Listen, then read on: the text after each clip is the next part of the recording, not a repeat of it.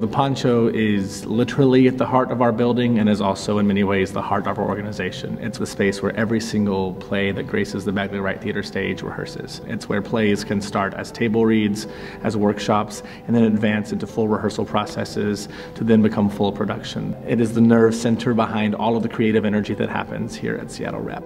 This building opened in 83, so I've been I've been working in that space for a long time.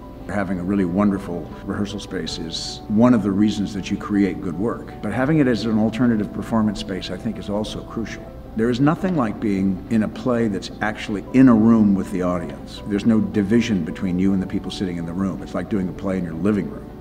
Maybe my favorite memory of the Poncho was doing the first production of Inspecting Carol there. It was really electric. Having people that close to you for that ridiculous farce, listening to people laugh that hard in a small space was an experience I'll never forget. The rep has been supporting me since, uh, I'm going to date myself, probably since 1991. And I just found out that I am the most produced living playwright in Seattle Rep's history. When I think of the poncho, I think first of all, when I walk in there, I'm so excited because I know that something new is going to happen. We are going to create. But when we're in that poncho, we're working it out. We're sweating. We've got our sleeves rolled up.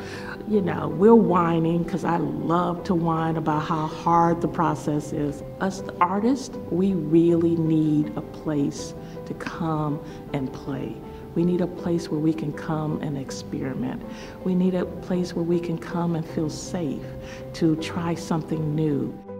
The August Wilson Monologue Competition is so powerful.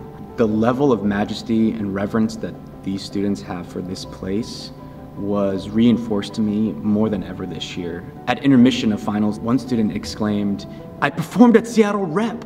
And When I went home that night, I really reflected on him and the fact that this place has a lot of um, status for these kids. It's that shining beacon on a hill. These amazing young people are going to be future patrons, they're going to be future performers, they're going to be future donors to the rep. We need to do our best to make sure that we live up to the reputation that we have with them. And we do that by uplifting their voices. And we can better uplift those voices if we have a space that allows us to do that. That room basically became City Hall for Public Works. I mean, it was sort of where all the roads led. I think it's probably where most all of us first met, whether it was an audition or a potluck or an event. And then we made it our creative space. We used every inch of space in this building.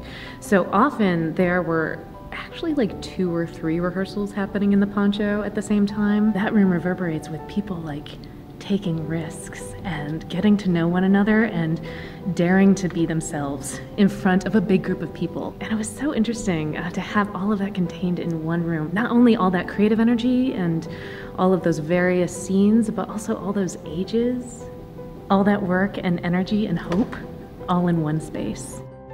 I am convinced that this idea of being in a big room with a bunch of strangers, watching a story unfold in front of us, in person, live, ultimately is, is something that we need as human beings. That's why I think we should raise our paddles. Give me a paddle, I'll raise it.